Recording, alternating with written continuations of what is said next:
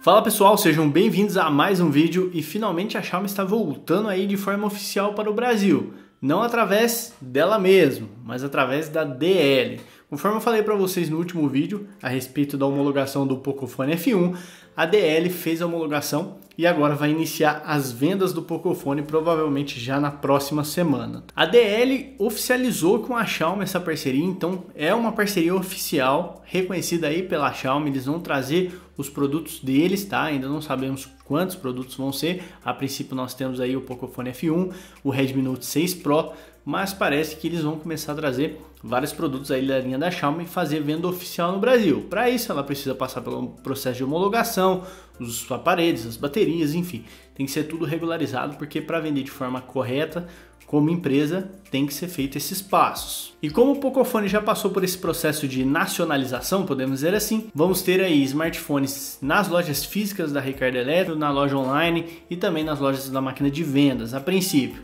mas nada impede de ser expandido aí para outros comércios eletrônicos e outras lojas físicas. É mais uma questão de logística e depois a DL acertar aí o fornecimento com mais varejistas. A DL afirmou que vai fazer algumas modificações nos aparelhos, tá? Nada muito invasivo, podemos dizer assim, mas vai ser feito algumas adaptações para atender o mercado brasileiro.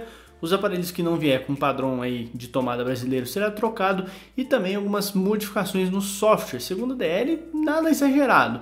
Por exemplo, é, habilitar aí reconhecimento facial, que muitos aparelhos da Xiaomi não têm habilitado quando a região do aparelho é Brasil, tá? É necessário mudar para a região Índia, para outras regiões, para que o desbloqueio facial seja habilitado. Então a DL vai fazer essa modificação, tá? Eu ainda não sei se é eles que vão fazer aqui, se vai vir já pronto essa modificação lá de fora. A princípio o aparelho vai ser importado, nada de fabricação aqui, pelo que eu entendi, mas tudo isso daí pode ser mudado de acordo com o projeto aí da DL. Só vamos conseguir mais informações conforme for decorrendo aí e crescendo essa parceria entre eles. A DL é uma marca mineira, costuma fazer produtos aí de baixo custo, como tablets, celulares, alguns produtos eletrônicos, computadores mais simples e agora, de forma oficial, vender smartphones da Xiaomi. Já na questão de preço, ainda não sabemos como vai ser, mas pode ser que tenha surpresas aí. Vamos ver, na semana que vem provavelmente a gente vai descobrir, eu já trago vídeo falando para vocês.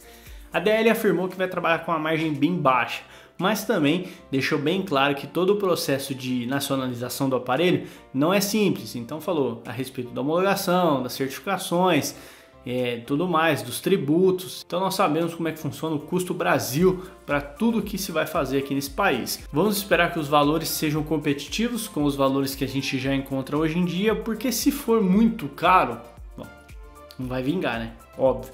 Você tem duas opções de aparelho. Só porque ele é homologado, sinceramente, para mim não muda nada.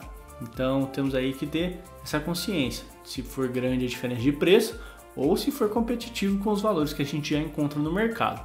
Além disso, a DL vai oferecer suporte, reposição de peças e garantia oficial da Xiaomi. Isso daí, por um lado, é muito bom e é sempre bem-vindo. Conforme for saindo mais novidades a respeito, eu vou trazendo updates aqui para vocês e assim que o produto já estiver disponível para venda e eu souber o preço, eu também trago as informações para vocês. Eu vou deixar aqui na descrição uma entrevista lá com a DL, é bem interessante, tem várias questões que eles esclareceram lá, então vale a pena você também conferir. Se ficou com alguma dúvida, deixe seu comentário, não esqueça de curtir, compartilhar esse vídeo, se inscrever aqui no canal, me seguir no Instagram. Eu tô postando as novidades sempre em primeira mão lá, principalmente nos stories e também na descrição tem meus grupos do WhatsApp, Telegram, minha planilha de cupons eu vou ficando por aqui. Até o próximo vídeo. Valeu!